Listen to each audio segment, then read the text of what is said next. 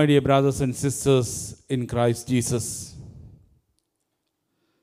the book of Sirach, chapter 36, verse 19, we read that the wonderful works of the Lord full, fill Zion, Zion with your majesty and your temple with your glory.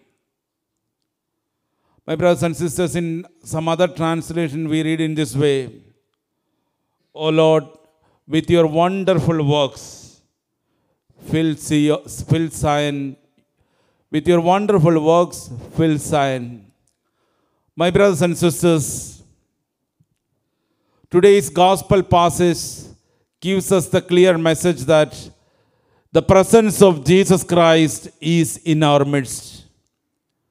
He is ready to fill Zion with your majesty and your temple with your glory. You can see the you can see the wonders of the Lord. You could witness the miracles of the Lord. The Lord is telling us the presence of Jesus Christ is very much, very much active, is very much seen in the Holy Eucharist, in the Holy Adoration. Now, the question before us is that are we acknowledging or are we accepting the Lord who is present in our midst? The gospel, the, uh, the people of Pharisees asked Jesus, why is it that John's disciples and the disciples of Pharisees fast, but your disciples do not fast? This was important for them. Certain, uh, certain customs and traditions were very much important for them. But they did not understand the real meaning of all these customs and traditions. The real importance or the real meaning of these customs and tradition that is to find the person of Jesus Christ. When Jesus Himself, when Jesus Himself is present in the midst of, in the midst of us, why can't we see Him? Why can't we accept the great miracles that the Lord is doing us? My brothers and sisters, God is not far away from us. In the Old Testament, God was with them day and night in the form of great cloud during the day and in the form of light at night. The presence of Jesus Christ was with them all throughout their life.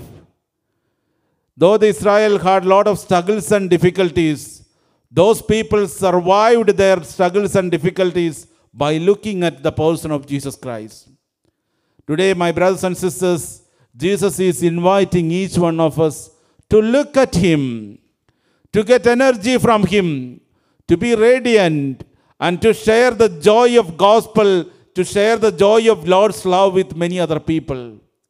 So we are people, we are people of New Testament. We are people of Jesus Christ. We, have, we are not people of the Old Testament. We are not too much so on the laws and regulations. More than that, we are moving with Jesus Christ. The person of Jesus Christ, who is very much active, who is very much with us. The presence of Christ is very much with us. My dear brothers and sisters, the Lord is asking us, are you, are you understanding, accepting, and are you believing? Are you seeing the wonderful presence of the Lord in our midst? Very often we fail to understand the presence of Jesus Christ in our midst. Brothers and sisters, the presence of Jesus is there, is with us in different ways. It is there in the sacrament. Jesus Christ is truly, really, and substantially present in the Eucharist. Jesus Christ is present in the Holy Adoration. Jesus Christ is also present in the Word of God. These days we are going through the going through the Word of God retreat. We are pondering over the power of the Word of God. Brothers and sisters, the first and foremost thing is that believe in God who, believe, who lives in the midst of His people. We do not seek the presence of God anywhere. We do not go any place to meet Jesus Christ. He is there in our midst.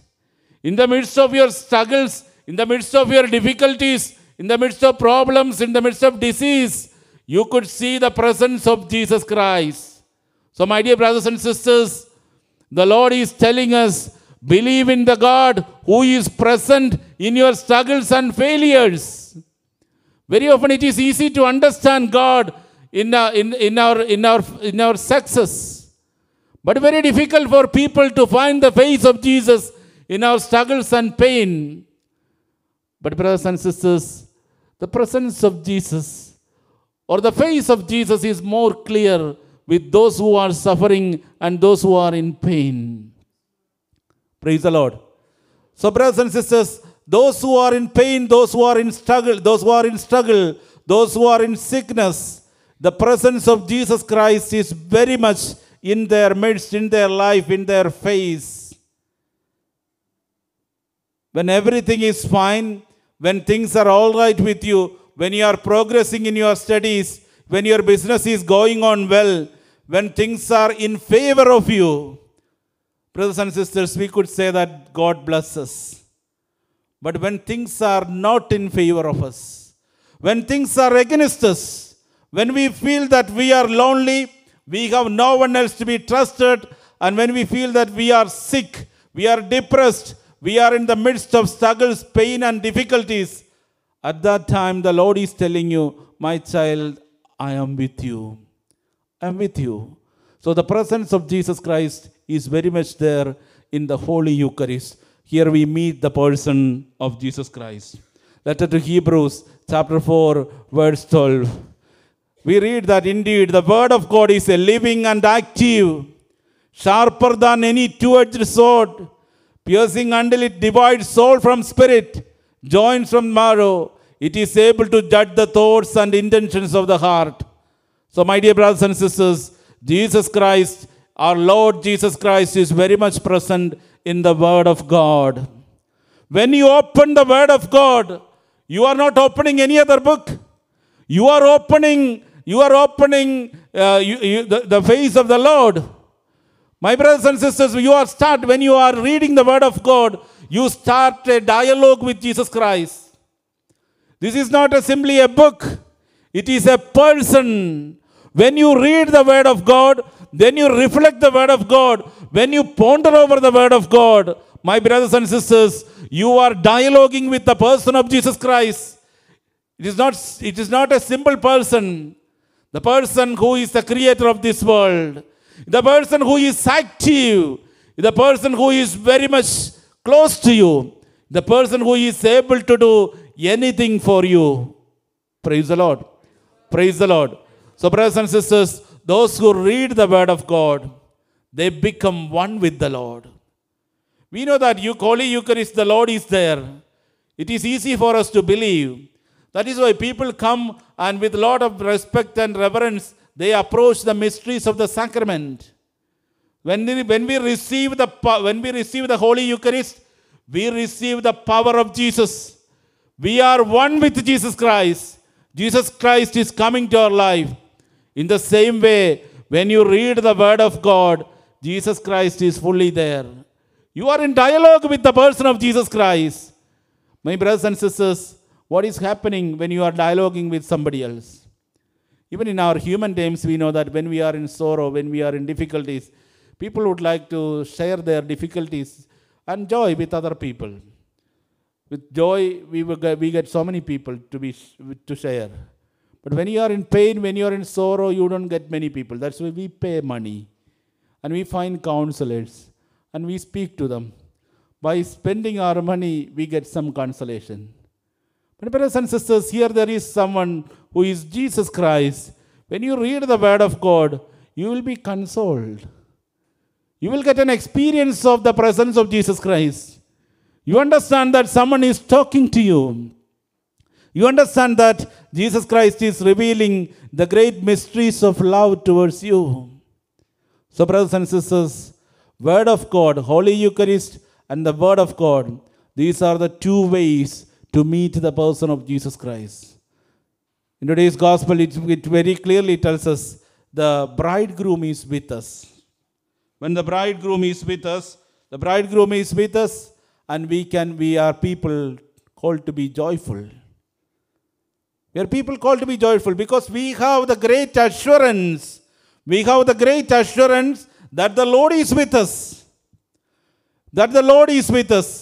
You know the experience of the Emmaus, you know the Emmaus experience, the disciples who were who were traveling, who were walking, they were, it, it seems that they were so sad.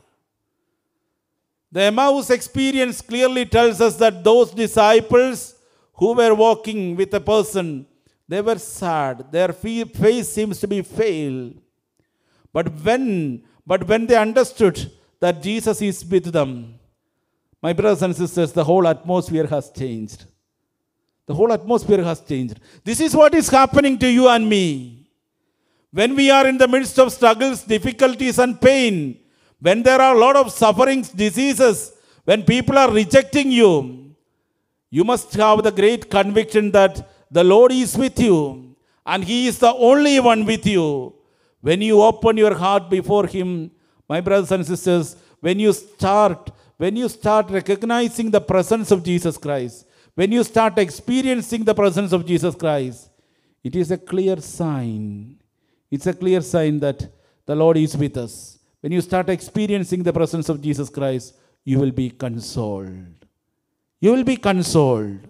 So today, when we celebrate the feast of Joseph Vaz, the great saint who suffered for the kingdom of God, to, to preach the word of God, he found his consolation in the person of Jesus Christ. Brothers and sisters, in today's gospel and in today's Holy Mass, the Lord is very specially telling us find your consolation in Jesus. There could be so many other options here in this world. But all those options, they are only temporary. Why people are after drugs and drinks and various other pleasures? They always say that we are worried, we are stressful, we need some consolation. For how many hours? Two hours? Five hours?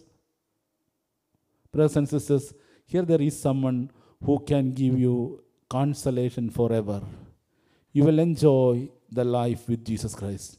Yesterday, there was a person who came here. I spoke with him, and he told me that, Father, it is, it is very easy, very easy for me to do things because I believe in God very much.